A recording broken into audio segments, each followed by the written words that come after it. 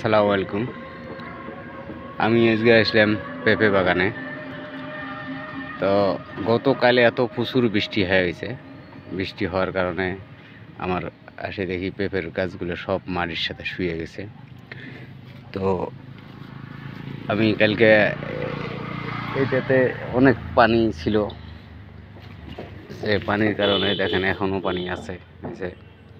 তো পানি একদম হাঁটুর উপরে পানি। তো ওই জন্য গাছগুলো বানতে পারিনি আজকে। যে বাঁশের খুঁটি দিয়ে গাছগুলো সব বাঁশ দিয়ে কেসি বানায়া গাছগুলো দাঁড় করে দিলাম। তো না হলে গাছগুলো ফলগুলো আটকার কোনো রাস্তা থাকবে না। তো যেটুকু আমার ভেবে এখন মোটামুটি ভালো হয়ে গেছে। তো এখন যদি আমি গাছগুলোতে এইভাবে কেসি না দিয়ে রাখি, তাহলে গাছও মরে যাবে, পেঁপেগুলো এখনও গাছগুলো বাঁচার আশঙ্কা আছে। গোড়াতে একটু করে মাটি দেবো, শুকনো হলে মাটি দেবো। তো আপনারা দেখতে পাচ্তেছেন যে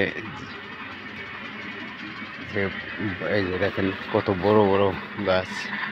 এই যে, এর আবার ঠালোতেও পেঁপে ধরছে। আবার ঝুম করে দেখার চেষ্টা করলে দেখেন, এই যে গাছটাতে কত পেঁপে। তো এই গাছটাও পড়ে গেছিল। তো আমি আবার এই জন্য গাছে এই যে বাঁশ দিয়ে, দুই পেজ দিয়ে বাঁশ দিয়ে যে কেসি বানে বান দিয়ে দিয়ে আটকাইলাম। আর এমনি তো পেঁপের গাছে শক্ত মানে ভার একলায় উঠানো যায় না, খুব কষ্ট করি ঘাড় বাজে আমি গাছগুলো দাঁড় করানোর চেষ্টা করলাম। তো এখানে এখন পানি শুকের পরতে কাদা হয়ে গেছে। তো আমি এখন কাদাতে হাঁটার জন্য অবশ্য বড় রাবার জুতা ব্যবহার করছি। নইলে সম্ভব নয়।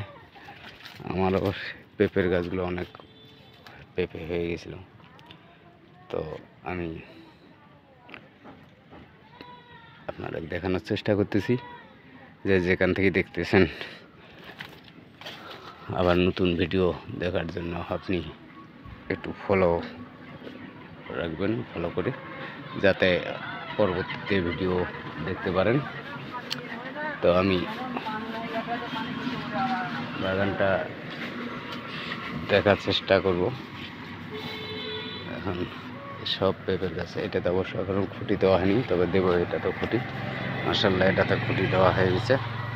দেখেন কত পেঁপে আপনাদের দেখার চেষ্টা করতেছি। বড় বড় পেঁপে। এই গাছগুলো এমনিতে মাটি নরম হয়ে গেলে অবশ্য মাটি নরম হয়ে গেলে সম্ভব নয়। গাছগুলো টেকানো। তো এইভাবে যদি আমরা বাঁশের খুঁটি দিয়ে বান দিয়ে দিয়ে এই যে বাঁশের খুঁটি দিয়ে দিয়ে কেসি সিস্টেম করে দিয়ে রাখতে পারি, তাহলে গাছগুলো বাঁচবে না হলে সম্ভব নয়, মারা যাবে। তো আপনারা দেখতেই থাকেন। আবার নতুন নতুন ভিডিও পাওয়ার জন্য ফলো করুন লাইভ লাইভ করুন শেয়ার করবেন